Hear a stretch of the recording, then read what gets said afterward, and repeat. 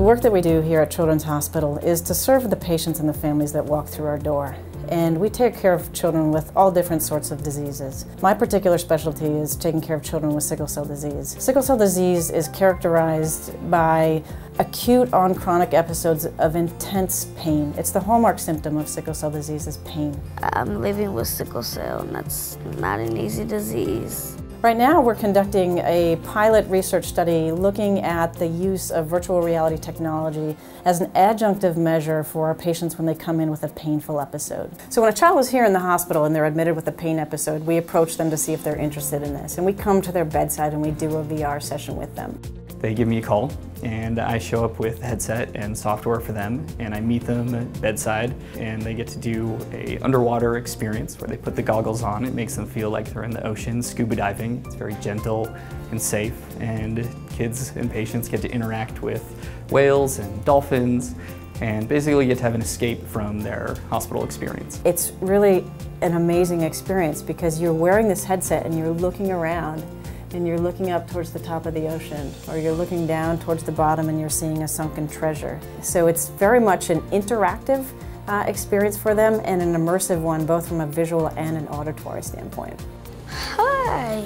It's not like your typical video game. It's soothing. It takes away all negativity and whoops its butt universally the kids have loved this. They, you know, they ask for it every time they come back in. They say, "Hey, can we have the VR guy come back?" So number one, they're definitely loving it, and number two, some of the preliminary results that we are seeing do indicate that it in fact is having an impact on their experience of pain. So we're really encouraged. I've watched patients who uh, can barely sit up and say hello to me, put on the headset and feel energized and confident and able to, to move around and it, it's amazing to see that effect. I think that virtual reality technology has the potential to transform pain management, truthfully transform it in a way that allows patients another tool in their armamentarium in addition to medications. Medications come with a whole host of side effects that are unfavorable and undesirable. VR does not. It just calms you down. It just calms your body down.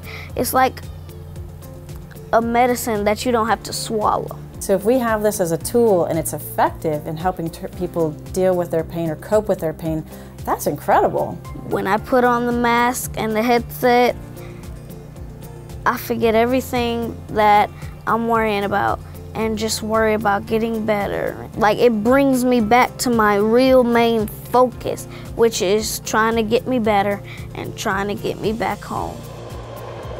Here at Children's Hospital Oakland, we have a very long and rich history of serving patients who are living with sickle cell disease.